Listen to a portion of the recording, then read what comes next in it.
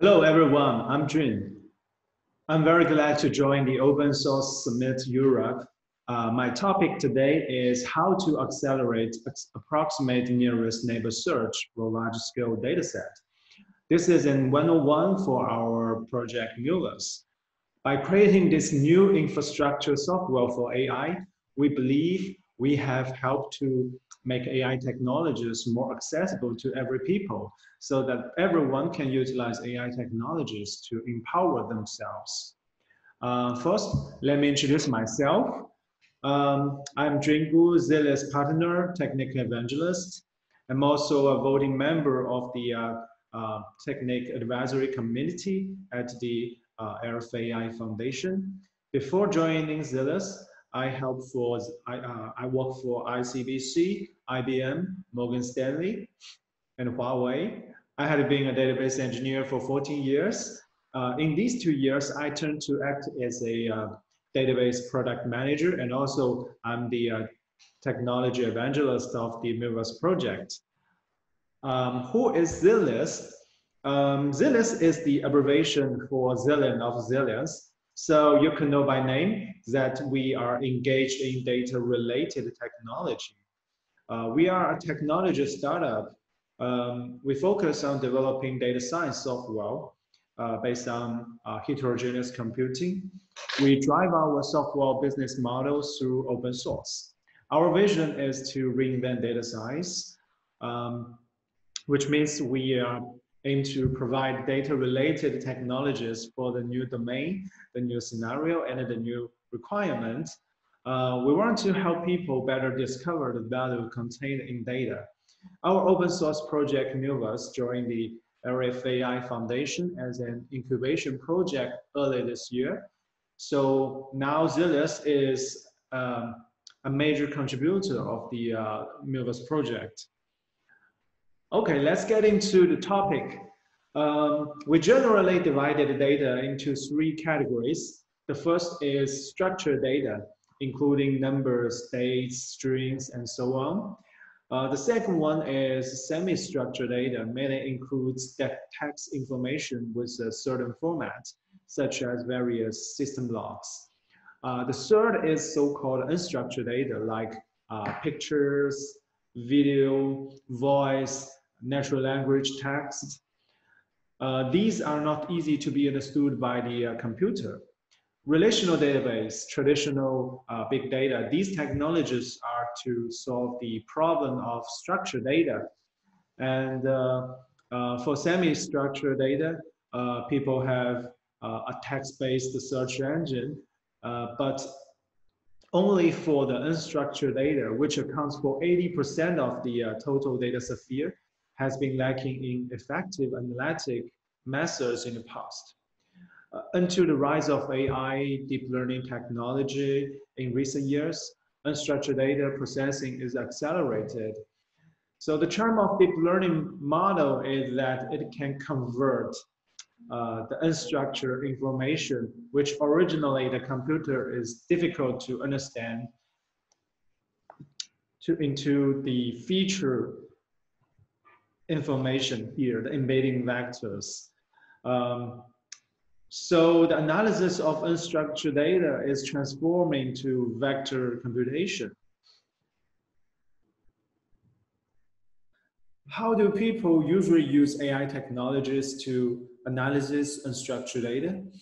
Uh, as shown here, uh, it's a uh, so-called flow-based application. So AI application is, um, this is a typical example. Assuming we have, uh, we are going to uh, analyze a video, we can create some operation streams, usually called pipelines. Uh, the leftmost pipeline uh, captures the video uh, frames and then extract the feature from the captured image. Here, for example, we can use the uh, VGG model a model with excellent general, generalization capability. At last, we got image feature vectors here. Uh, the middle pipeline, the middle pipeline handles sound. Eventually, it generates audio vectors that are converted from the sound. And the rightmost pipeline automatically labels some attributes uh, for the video. So if you have other special requirements, uh, we can build a new pipeline to do related processing. Uh, this is why flow-based AI applications are so popular because they are flexible. Uh, and the developer don't even have to write code. There are web-based interface to help users to uh, compose the new process. If you have no idea how to start, you can even find some uh, useful samples. Uh, but in this way, it also brings us a new data challenge. The data becomes very fragmented. It was originally only one video, but at last, with the uh, operation of the pipelines, it was gradually transformed into different data spread in different corners. So what shall we do? Um, let's turn to a more traditional hierarchical view. Um, so uh, this is a uh, AI application to process and structure data. The top of this uh, layer and the uh, bottom of the layer, they are all unstructured data. Um, AI technologies mainly uh, works in these two middle two layers. Uh, the green layer, which is called the inference layer, uh, and the blue layer, uh, which I call it a data service layer. Uh, the task of model serving is to transform unstructured data into feature vectors models These models are uh, pre-trained, but serving them uh, efficiently is still not easy. Uh, the good news is uh, there are already some mature projects in the industry, such as uh, NVIDIA's TensorRT, uh, Intel's OpenVINO, Microsoft ONNX RT, Google TensorFlow's TFRT. Um, but there is no comprehensive solution for the data service layer at this part. Some people put vector in a structured database. Others, uh, they, some, they, will, they might put the vectors in HDFS and then analyze these um, uh, vectors through Spark. Also, you can use some ANN libraries. So in this area, everyone make their attempts. The challenge is how to uh, manage and analyze the vectors efficiently Although a large number of uh, pre-trained models are now available, but AI technology is still difficult to go production because at the data service layer, uh, the cost is still high. So um, to address this challenge, uh, our answer is to build up the unstructured data service powered by the uh, Milvus project. It contains uh, four parts here. Uh, the first part is the uh, embedding similarity search to serve the vectors. Um, so it, it includes uh, high dimension uh, vectors in deep learning scenarios, and also it supports the sparse vectors in traditional machine learning scenario. The second part is the um, attribute for the or the scalar data. For example, a label described by uh, structured data like streams. So combine the attributes and the uh, vectors, we can provide the capability of hybrid search or collaborative search. So which means you can uh, use the attribute filtering uh, when you do the uh, vector search. The third part is to support multimodals. Uh, as in the previous example, a video has uh, vectors of different dimensions. There are image vectors and uh, there are audio vectors. So in the real world, the multimodal search is a common requirement. So then we need to introduce the concept of entity for the unstructured data. An entity could contain multiple uh, multiple vectors of different dimensions. The first part is the scoring component.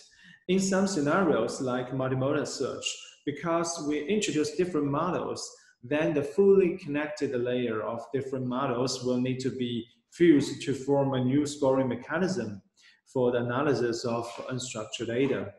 Uh, at present, uh, Milvus already has built up the uh, vector analysis capability. Uh, we are constantly improving and enhancing it. Uh, we are currently, uh, actually, by this time, by the time you see this video, the attribute filtering function should be available already. And for multimodal search and scoring search, they are on the roadmap. Uh, in the future release, we will we will um, uh, we will uh, put this functionality in a higher priority.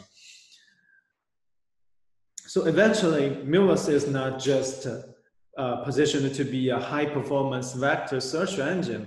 So we want to build a comprehensive infrastructure software for unstructured data service based on Milvus. Okay, so maybe you have been convinced we need the unstructured data service, uh, but why not build it through relational database or big data technology?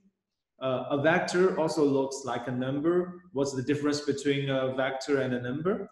Uh, to be precise, a vector consists of a set of numbers. The difference between vector and a number, um, I think uh, there are two major aspects. Uh, first, the common operation of vectors and the numbers are different. For numbers, addition, subtraction, multiplication, and division is the most common operation. But for vectors, the most common uh, operation is to calculate the similarity. So you see here, I'm giving I'm giving the formula of computing Euclidean distance and the computation of vector, you can see here, is much higher than the normal numeric calculation. Secondly, the index organization of data is different. So between two numbers, the value can be compared with each other. So we could create the number uh, index based on algorithm like B-tree, uh, for example here. Uh, but between two vectors, uh, we cannot perform the comparison. Um, we can only calculate the similarity between them. So the vector index is usually uh, based on algorithm like uh, approximate nearest neighbor AN algorithm. So here I give two AN approach, clustering index, clustering index, and graph index. Because of this significant difference, the tradition database and the big data technology are difficult to meet the requirements of vector analysis. The algorithms they support, the scenarios they target are all different. So that's why we try to build the Milvus project to serve the uh, unstructured data, the embedding vectors. So here is the big picture of Milvus. I want to highlight four parts. Uh, the first major part is the uh, support of the uh, heterogeneous computing. So I mentioned earlier, our company is developing data science software based on heterogeneous computing. Uh, so we have ex experience in this area. The team has ex experts in the CUDA programming and the uh, sim programming. So during Milvus design, we thought about how to support different computing resources uh, so that we could accelerate such computation intensive scenario. Um, the heterogeneous computing resources supporting Milvus, uh, including, uh, for example, the SSE instruction set for x86, um, mainly AVX2, AVX512, and also uh, NVIDIA GPU, uh, ARM processor, but it, it requires 64-bit ARM processor. And also, uh, we are working with our partner to port Milvus into um, RISC-V uh, uh, processor, but in a very early stage. Uh, the second part is the data management function. Uh, we want to provide the unstructured data service. So the function of data management is critical. Um, supports data partition, data sharding, deletion of vectors, and also stream injection. And then the third is the adoption and improvement of the AN algorithm libraries. The capability of vector search is the uh, fundamental function in unstructured data service. So Milvus can provide uh, good vector search performance but, uh, by adopting and improving the well-known AN algorithm libraries like Faiss and OI. Uh, the first part is uh, support for applic application development environment. To enable AI developers to build the applications on Milvus, we provide several application development environments like a uh, uh, Python, C++, Java, Go, uh, REST, uh, API, etc. Although Milvus is a server more complicated than the uh, algorithm library, uh, but people are very curious about the performance comparison since performance impacts the hardware cost. And they want to uh, set an expectation when they start to use Milvus. Uh, so we have run through the AN benchmark. Uh, it is a set of well-known AN benchmark tests. Uh, thanks to Martin, Eric, Alec for developing the benchmarks. Uh, we forked it on GitHub and run through the test on Milvus in several different public cloud environments like AWS, Azure, Aliyun, and we also run the test on our local machines. Uh, here, I only captured one chart of Milvus performance. Uh, the benchmark tests generate a bunch of reports. So you can find the details on our website, milvus.io.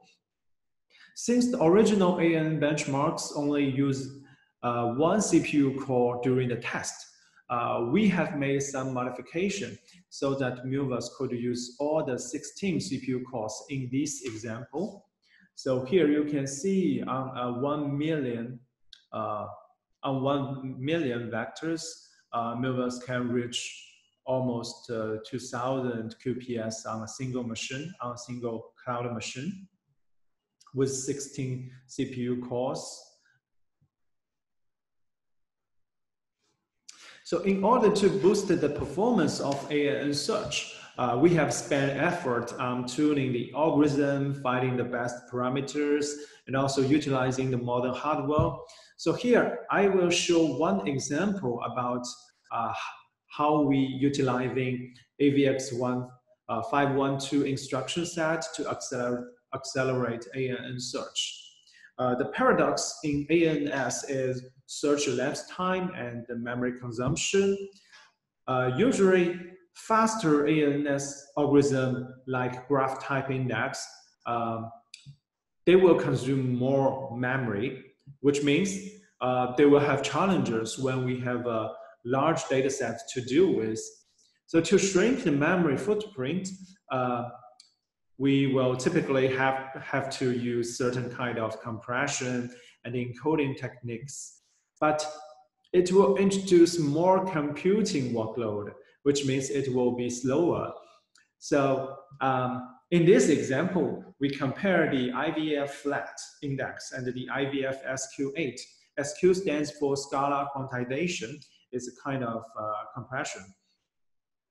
So you can see um, when using the AVX2 uh, instruction set, the, the index with compression is uh, slower than the uh, index with, with no compression. So uh, you have to you have to make the trade-off. You want a faster speed or you want a small memory footprint.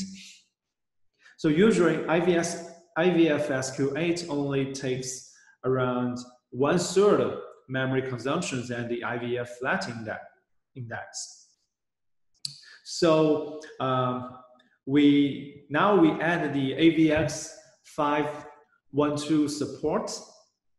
So you can see here with the AVX 512 instruction set, we get very obvious performance improvement on both index with compression or without compression, but especially for the index with compression like IVFSQ8. Um, the AVX, AVX 512 improvement is much more than the uh, in, index with, without compression because the index with compression, uh, they will uh, incur more CPU workload. So it will be uh, significantly improved. And uh, now you can see uh, with a much smaller memory footprint, the IVFS SQ8 index also uh, get a very good performance compared to the uh, index without compression, especially if you want to, to do this uh, uh, batch query, like we gather 100 query uh, requests together to, to, to compute, to do the search, you'll get a very significant, significant improvement in this scenario. So now Milvus could help users to achieve faster search with lower memory consumption.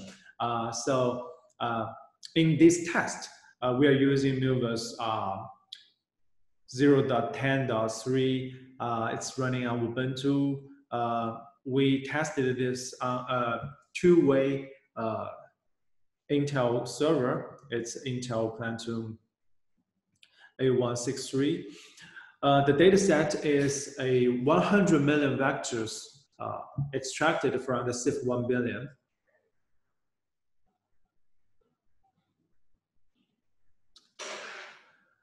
Okay, uh, so yeah, that's why heterogeneous computing is so powerful in AI applications.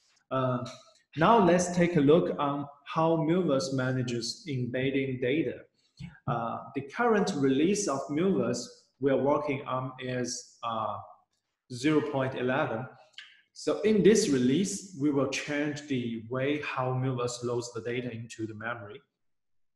Here is the uh, behavior before uh, 0.11.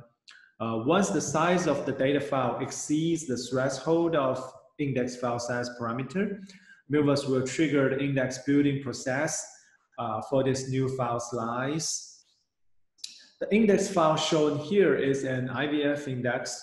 It consists of two parts. The first part is the collection of centroid. The, uh, the number of centroid is defined by the index parameter nlist. Uh, every centroid has two pointers, which point to the beginning and the end of each inverted list.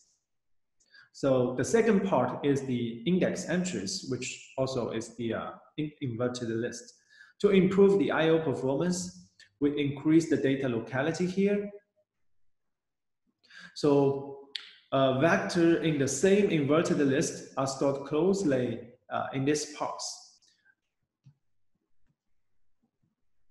So Milvus loads the data index file into the memory with the same structure as it is on disk.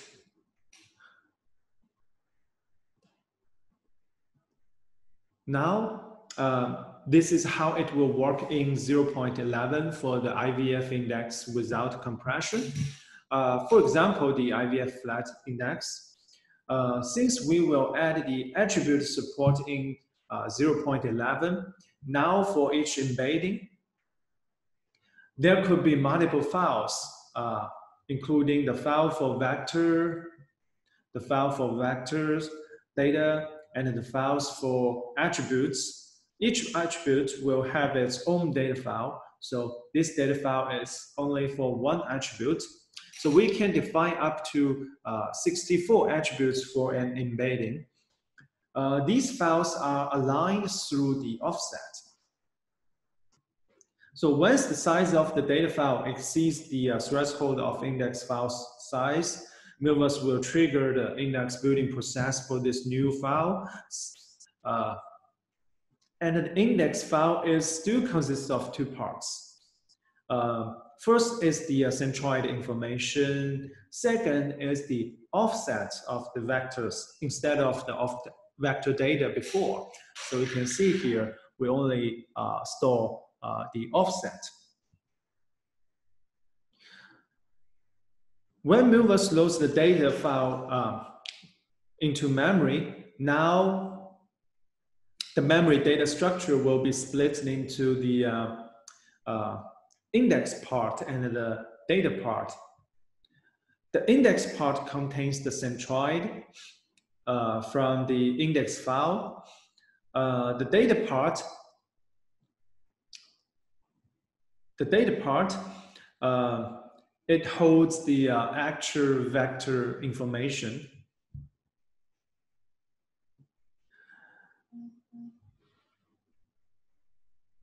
So you can see here, Milvus will reorder Milvus will reorder the data in memory to improve the I.O. performance. So originally it's uh, the, the, the, sequence of vector in the data file is uh, the inserted time, like you have one, two, three, four.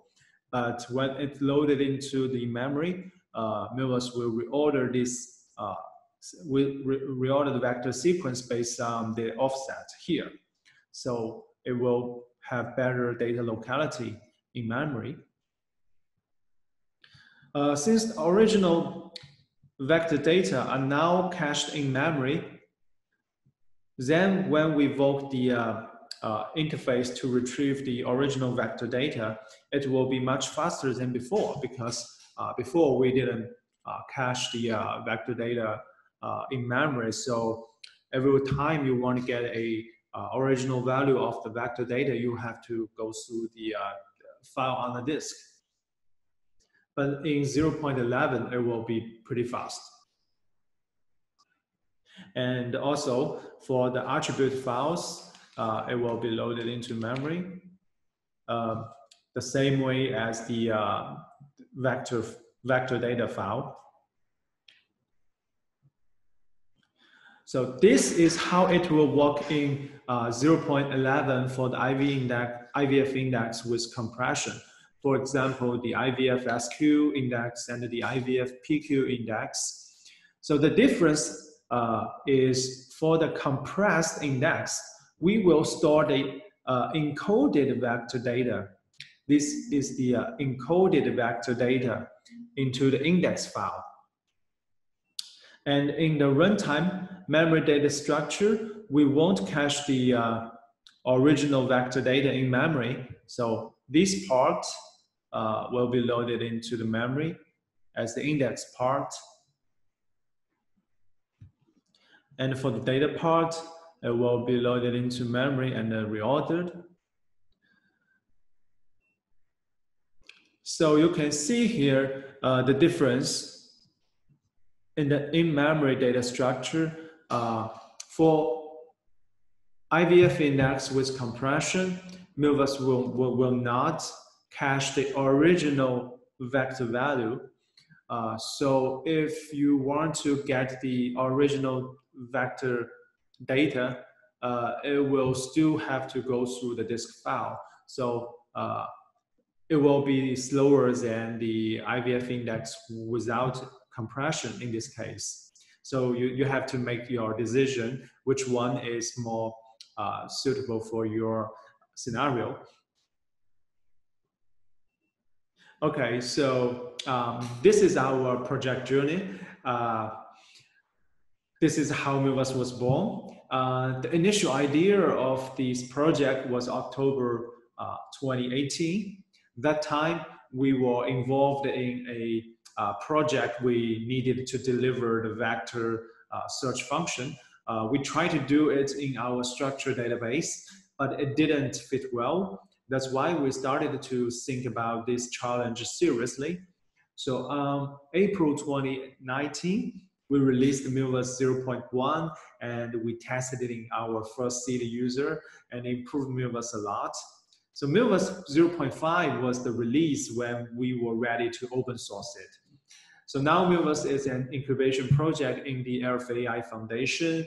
Today, Milvus is the most active project from the uh, software development pr perspective in Linux AI Foundation. Um, so here is the uh, current status of the Milvus project.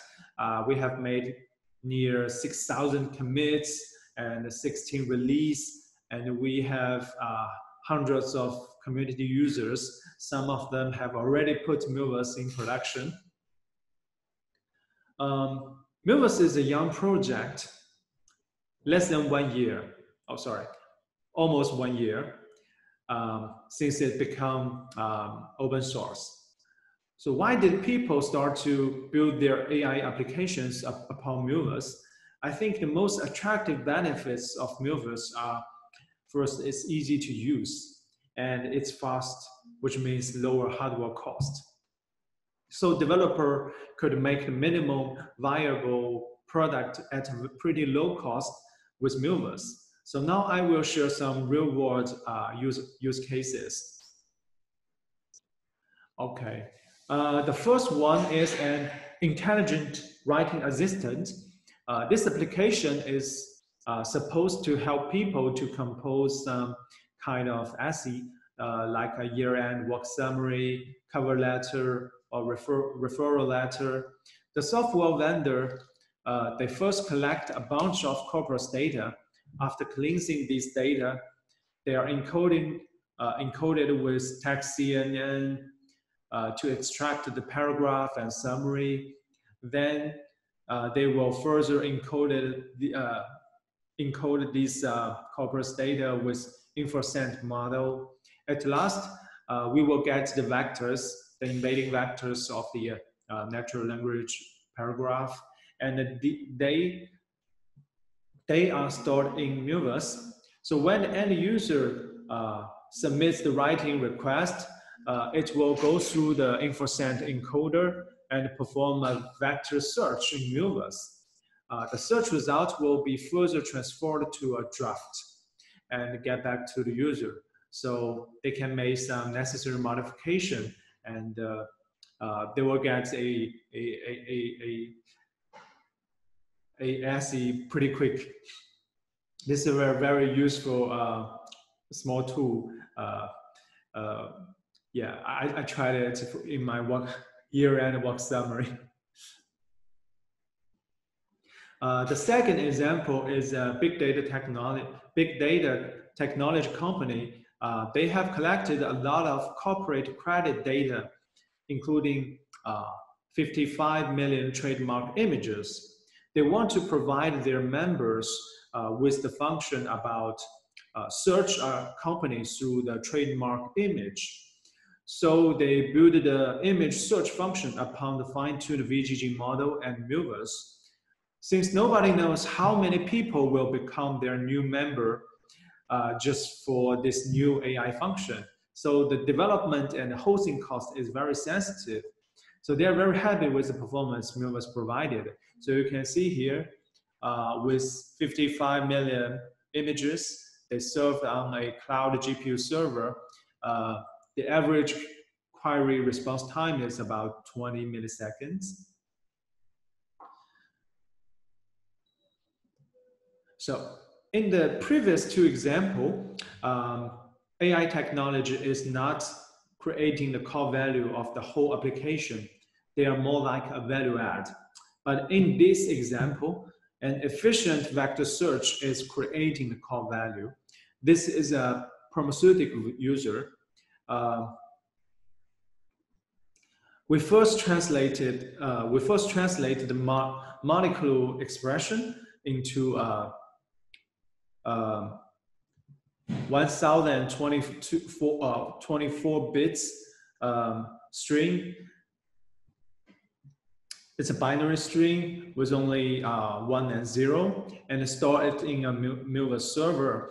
Then the user could perform the uh, uh, the molecular uh, analysis, similarity analysis, including Tanimoto similarity to compare two molecules if they are uh, similar, and also uh, substructure to see uh, if they can provide just one piece of the molecular formula to see uh, we, we, which molecules contain this substructure and also superstructure in a in another way.